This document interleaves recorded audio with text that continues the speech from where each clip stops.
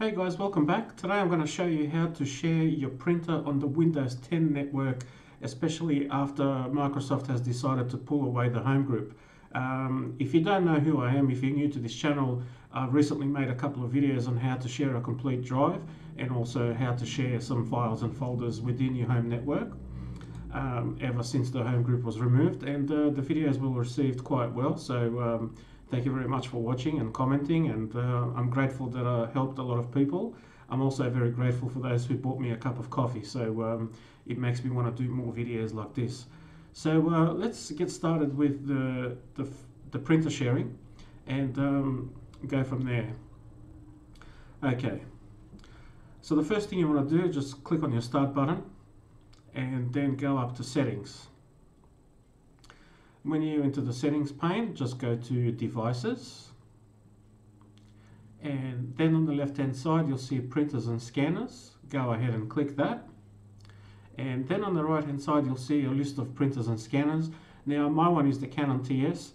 In your situation it might be some something else like a HP or whatever Brother, Epson, whatever printer you may have. Just make, check your name against the badge on your printer itself and then uh, click on click on the actual printer then uh, go down and select manage.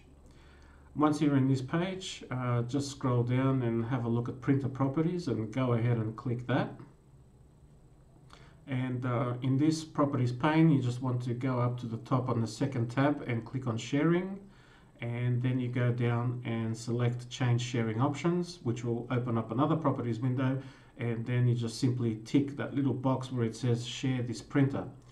Now you can also give this printer a name to make it more recognizable on the network. So uh, in my situation I'm just going to type in uh, Canon printer on desktop just so the rest of the family knows which one it is. And uh, if you do have any computers in the house that are 32-bit or even ARM64 powered, uh, which will be tablets or Windows S devices, then you can select the boxes to um, add additional drivers. But uh, most computers are 64-bit, so you can just leave that as it is. And uh, then you just click OK.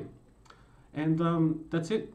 Um, as far as the initial sharing goes, that's all you have to do. And uh, we'll move on to the laptop now and show you how to access this printer from the laptop.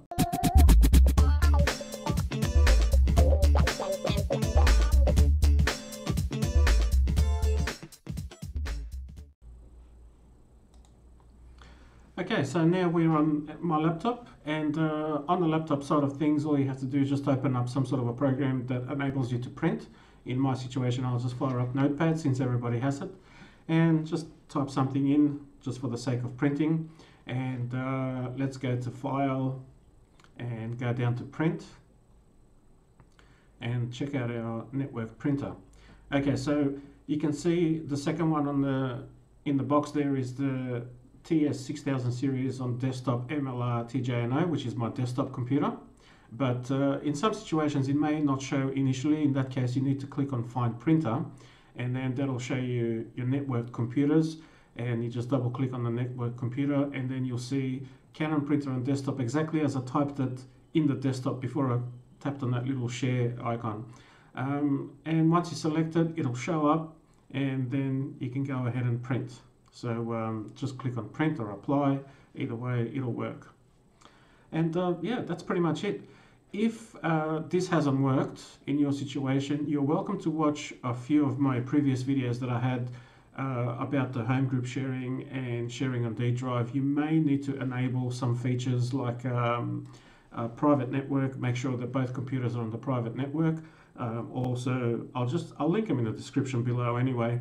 And um, also, you may need file and printer sharing activated on both devices. So that's pretty much it. This was uh, pretty easy, much easier than the rest of the sharing stuff. So um, I hope it helps you out and uh, you enjoy this video. So um, thanks for watching once again. Until next one.